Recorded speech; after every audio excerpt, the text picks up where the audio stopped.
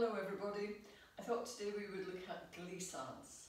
So there's several different ways of doing glissades and we'll just look at a couple of them. We're going to go side to side today. We're going to start fifth position, arms bas.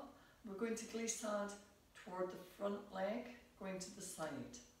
So we're going to bend both knees, reach the foot out, glissade and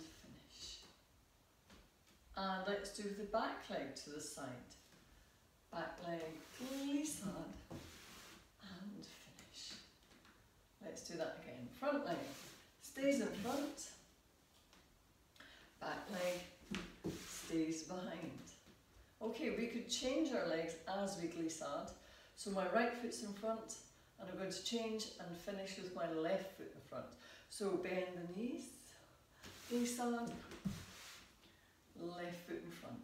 Let's do that again, changing. Plie, stretch the foot out, glissade and up.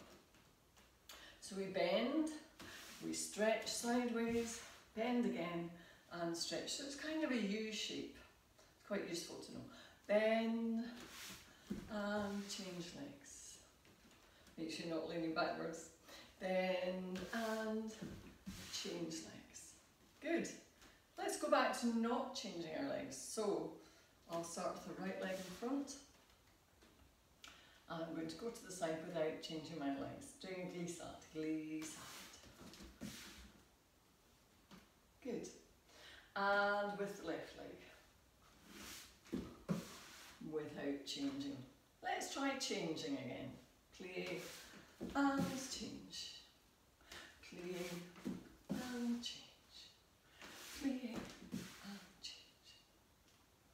We could go to the side and continue going to the side. It's a very good travelling step. You can even glissade forward and glissade back. But we won't worry about that today, we'll just try side to side. One more time, the right foot in front. Keep the right foot in front, so we won't change. Glissade to the back foot.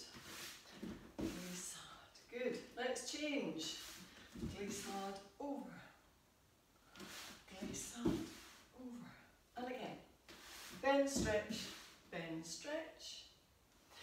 Bend, stretch,